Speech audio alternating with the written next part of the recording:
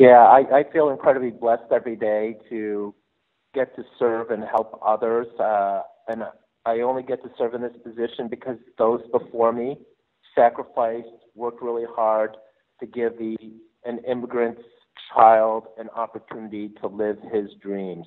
Uh, I am blessed with six godchildren. Uh, they are diverse, Latina, uh, Asian, biracial, and I want to make sure that their dreams are easily within their capacity. They have to work hard, but I want to build a California where we provide a world class education to every child. I want to make sure that we overcome this housing crisis, which is leading so many California families into poverty.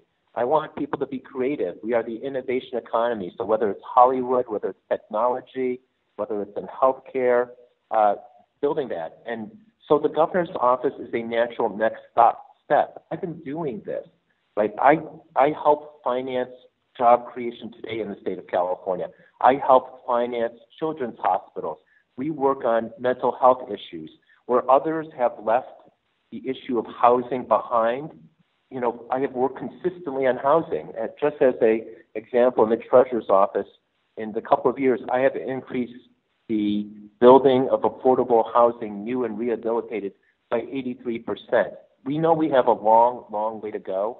Uh, we are one and a half million units short. We're projected to be over three million units short. Uh, but you know, I want at the end of the day, like people aren't going to remember the name, but they will live the life that you, that you build for them. And so I want to build the very best life.